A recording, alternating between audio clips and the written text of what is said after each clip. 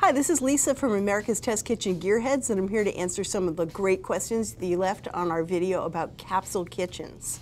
So let's get started. A lot of people were concerned that our spatula recommendation was $65, and I have uh, that spatula is right here. It's the Wusthof uh, Gourmet Fish Spatula, which we like for every kind of spatula. Um, it's wonderful. It's got this lovely little curve. It's thin. It's maneuverable. But we have a Best Buy, which is really similar by MIU, and it doesn't quite have the same little upturned curve, but it has a little bit of one. And otherwise is is a really good choice um, that works just as well for a fraction of the price. So MIU Kitchen stainless steel fish spatula. It's a great all-purpose spatula. Another comment that tons of people had, and we could not agree more, is that we did not include a sheet pan. Um, I think a sheet pan would be the perfect addition, and you have to know that Hannah and I had huge, really enjoyable debates about what belonged in and out of the capsule kitchen. We were trying to keep it to like 12 pieces, um, and we were trying to pick the most essential things that you do a lot of things with. I have to say sheet pans definitely fit that definition. Um, we had to leave something out, and I think most people said, no, that was one you should have put in. I agree. We will be talking about sheet pans in future videos, but I do have here our favorite sheet pan. This is our favorite sheet pan. It's by Nordic Ware, and it's a really great half sheet pan size. We also really love this cooling rack by Checkered Chef goes right inside. It makes this pan much more versatile. You can use it as a broiling rack. You can put fried foods here after you fry them so they don't sog out. Cookies, you know, bake the cookies here, cool them on the rack. So it's a great combination and super versatile. We use it for everything in the test kitchen. A couple people said, why not a cookie sheet? I would use a sheet pan instead of a cookie sheet, to be honest, because it's way more versatile. The rim really helps. You can also bake jelly roll cakes and all kinds of things in there. This is the quarter size pan, the quarter sheet pan, also very handy. And if you have limited space, this is the same company, Nordic Ware. It's a great choice. And as you can see, it's half the size of the half sheet pan. So um, I would do that. But I will say that one reason we didn't have a lot of bakeware, some people were asking about that, is that you can do a lot of baking right in your cast iron pan and in your Dutch oven. Um, in a capsule wardrobe and a capsule kitchen, each piece has to do double, triple, quadruple duty to make it really fit and to cover all the bases.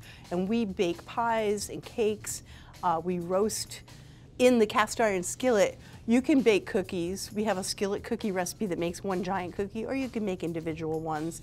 You can bake cakes, pies, uh, you can roast, you can fry, all those good things in one pan, which you can't really do with a cookie sheet. Um, it gives you a little more versatility. And obviously the Dutch oven, you can bake bread and use it in those ways. So it gives you versatility as well. So that's why those particular pieces made it into the capsule kitchen and we didn't have a lot of other bakeware. Couple questions about the scale versus measuring cups. We agree we love using a scale for baking. Um, most recipes, including ours, have volume measurements as well as weight measurements. And so, you know, a ton of recipes, especially in the US, use volumes rather than weights. And so you do need measuring cups as well. But if you can add in a scale, our favorite is by OXO. It's an 11 pound scale. It works really well and it converts from ounces to grams with just a push of the button right on the face on the controls. And I use mine like five times a day at home. Um, it's never out of reach. So I agree, a scale is a great thing to have. If you can add that in, definitely do it, especially if you bake a lot. A couple people mentioned that instead of just a chef's knife, they'd add in a paring knife, and I think that's a great idea. Um, you know, every time you add something, you are expanding how much stuff you have, but, and if you keep your knife nice and sharp, you can do a lot of the same tasks with your chef knife.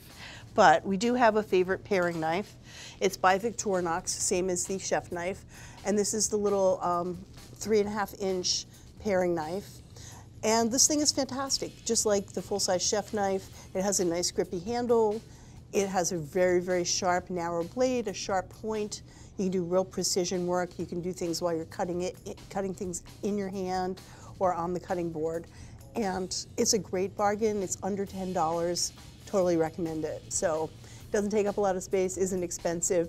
Sure, put it in your capsule kitchen. You're not going to regret it. So finally, we had a question about cast iron. Someone said, my cast iron pan stays light to darkish brown. I'm not sure why it doesn't darken. Um, you know, cast iron and carbon steel pans are the same way. When you're seasoning them and uh, using them, they become more and more black, but they start out brown. They start out blotchy brown. Most cast iron pans that you see, if you buy them and they're jet black, those are pre-seasoned in the factory.